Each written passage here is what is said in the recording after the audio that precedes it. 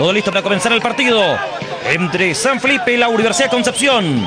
Mencionar que la U de Concepción viene de perder 2 a 1 frente a la Católica en Santiago. El equipo del Campanil de los últimos 15 puntos en disputa solo ha ganado 2. Ahí está el silbato de Jorge Osorio, secundado por Patricio Basualto y Ernesto Echeverría. Y ha comenzado el partido. Cuidamos el fútbol. Primer tiempo, aquí va San Felipe. El dominio que pueda tener del balón y el dominio territorial. ¿no? Fíjate que lo del Campanil, justamente en Jumbel, desde muchas fechas, nueve para ser preciso, no ganan. ¿eh? La última fue ahí, 3 a 1. Aquí va lado de Concepción, atención, defendiendo, no. Primero está Urbano para San Felipe, gol. ¡Gol de San Felipe! ¡Gol de San Felipe! ¡Qué regalito, qué obsequio para ti! Matías Urbano y Matías que dice, mira lo que me encontré, pero mira lo que me encontré. A gritar, a celebrar el grito de gol, grito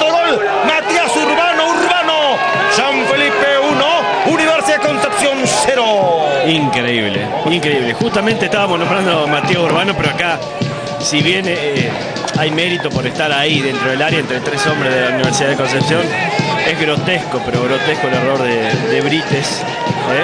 junto al de Jorge Schwager. No se hablan. Jorge Schwager interpreta quizás. No, no perdón, es Michael Lépez. Eh, interpreta quizás que Brites va a tomar el balón. El colombiano Virviescas. Este es Kilian Virviescas. Para Urbano, Matías, para el intento. Uy, qué cerca tuvo. Matías Urbano, lo apreciaron, pero lo vieron, era gol. Matías Urbano anda iluminado los primeros instantes de juego. Desde un lateral nuevamente, lo dejan girar, lo dejan perfilarse para su, para su pierna. La pelota rosa incluso en el ángulo izquierdo de Brites. ¿eh? Pudo haber sido el 2 a 0 para San Felipe que inició de una manera realmente espectacular aquí. Tiro libre, este es Luis Valenzuela.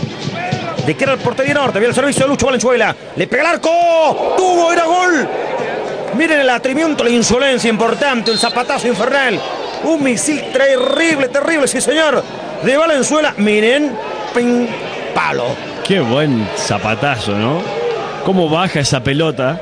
Le mete el borde interno de su pierna derecha. La pelota toma una comba cerrándose al segundo palo del portero Brites. Y no llegaba, no llegaba el portero.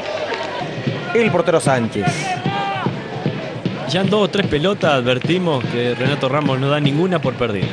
Recién esa iba larga, se lanzó en palomita para tratar de centrar y obliga una jugada más. En este caso la toma el portero Sánchez, pero obliga una jugada más. Acá está el mencionado Renato Ramos, domina, punta al barco, le va a pegar, le pegó. ¡Golazo! ¡Gol! ¡Pedazo de gol! ¡Golazo! De Renato Ramos, un misil impresionante, un winner, un tiro ganador, un zapatazo infernal, pelota envuelta en llamas. Renato Ramos, el tiburón, el tiburón, 1-1 el marcador. Bueno, ahí está. Aparece Renato Ramos. El viento lo favorece, lo decíamos. El plátano oriental indica que está viento a favor. Aquello le permite atreverse y la pelota le queda justa. ¿Por qué? Porque cuando la agarra de abajo hacia arriba, la pelota hace una comba y baja a espalda del portero Sánchez, de Diego Sánchez. Esa manera de agarrarla con el empeine favorece que la pelota baje hacia el final. Y más aún si va tan precisa sobre el ángulo. De la tenencia el balón va a la Universidad Concepción, que busca romper esta paridad. Lleva Jiménez. Ante va sacando oportunamente la defensa, quedó para Contreras. Apunta a Marc, le va a pegar, le pegó. Duro, frontales a gol. Pero viste ese zapatazo infernal. Qué tremenda, tremenda fortuna tuvo el arquero Sánchez. Porque este muchacho, Contreras, le pegó al arco, era gol. Y la pelota dijo, no, no, no. A punto estuvo lado de Concepción. Viene Guatemalteco que se anima de media distancia. Parece que el viento es importante, ¿eh? parece que el viento favorece, ayuda. Le está devolviendo un poco los favores, ¿no? La gente de, de la Universidad de Concepción tuvo dos travesaños San Felipe en el primer tiempo. Acaba el primero en favor del equipo de la Universidad de Concepción y resta por jugar bastante tiempo. Con complicaciones San Felipe, ¿eh? porque va buscando la Universidad de Concepción. Acá está Godoy, la va colocando en la mitad de cancha. Le están pisando el poncho a la Unión San Felipe. Este es Contreras. Domina José Manuel Contreras. Lo va colocando arriba. Zona penal está. Está el segundo. Puede ser. La pelota fuera.